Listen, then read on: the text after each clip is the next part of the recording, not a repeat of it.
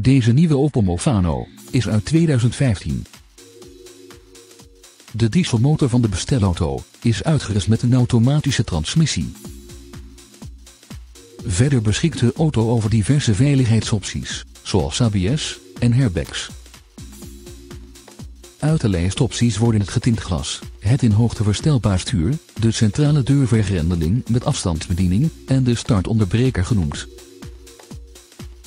De uitrusting bestaat verder onder meer uit een radio-cd-speler, cruise control, airconditioning, elektrisch verstelbare spiegels en elektrisch bedienbare ramen.